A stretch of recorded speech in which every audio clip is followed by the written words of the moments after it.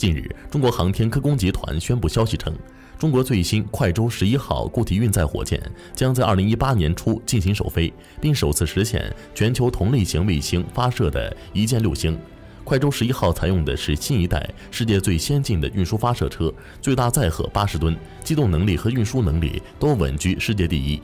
航天专家称，快舟十一号拥有更快的反应速度和环境适应能力，能在各种复杂的地形上展开发射。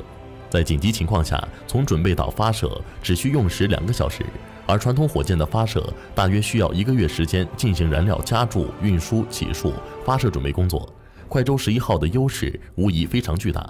此外，快舟十一号运载火箭发射的一箭六星是在六个不同轨道释放六颗卫星，技术难度更高，完全不是印度的一箭一百零四星，一股脑释放大量低端卫星可以比的。快舟十一号的发射成本相当低廉，发射一颗卫星只需要不到一万美元的价格。航天专家表示，中国卫星发射的白菜价必然改变全球商业发射的版图。快舟十一号发射成本之所以非常低，是因为采用了类似弹道导弹的发射技术，最大特点就是无依托发射。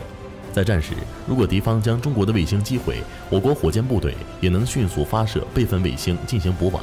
此外，据可靠消息称，中国航天科工集团还在研发类似美国猎鹰九号的可回收海上发射火箭，预计到明年就能研制成功。最近，在国外社交媒体上曝光了俄军航母上还有喵舰长，有人说这是军纪涣散的一种表现。事实真的如此吗？动物上舰难道有何妙用不成？微信关注军民圈，回复“航母猫”为您揭秘。